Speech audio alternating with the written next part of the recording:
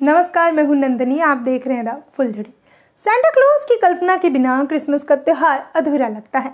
लाल और सफ़ेद रंग की पोशाक, सफ़ेद बाल बड़ी बड़ी दाढ़ी वाला एक बुज़ुर्ग और कंधे पर टांगा किट से भरा हुआ एक झूला। संता की एक ऐसी ही सब कल्पना में आते हैं। तो क्या सेंटा क्लॉज केवल एक इमेजिनेशन है या फिर केवल कहानियों में है? क्रिसमस के अवसर से पहले ये चलन है कि घर, परिवार या समाज का कोई व्यक्ति भी सेंटा के वेश में बच्चों के बीच गिफ्ट बांटता हुआ नज़र आता है। लेकिन इसकी शुरुआत कैसी हुई? क्या सेंटा क्लोज सच में थे? तो इन सभी प्रश्नों के उत्तर आज आपको इसी वीडियो में मिलने वाले हैं। तो आपको बता दें कि क्रिसमस का त्यौहार तो जीजस क्राइस्ट और ईसा मसीह के जन्म की खुशी के तौर पर मनाया जाता है। फिर इस सेंटा क्लोज को याद करने का चलन कहाँ से आया?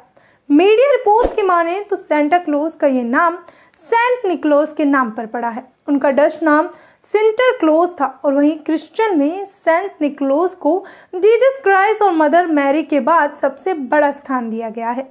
फिनलैंड के लोक कथाओं के मुताबिक जीजस के गुजरने के करीब 270 से 280 साल के बाद सेंट निकलोस दुनिया में आए।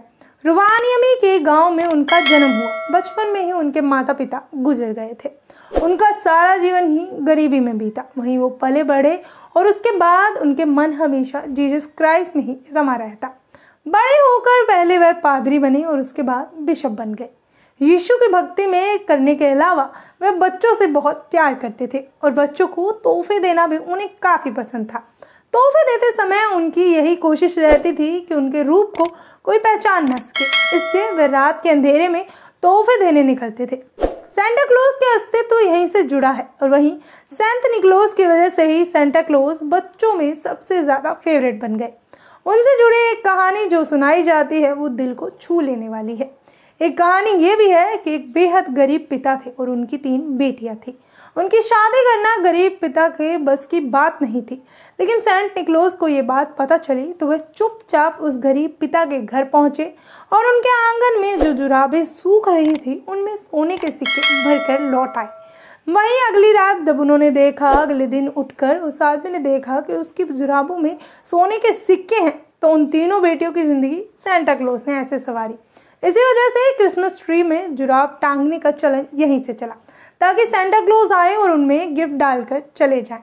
वहीं फिनलैंड में सेंटा क्लोज का आधिकारिक गाँव भी है।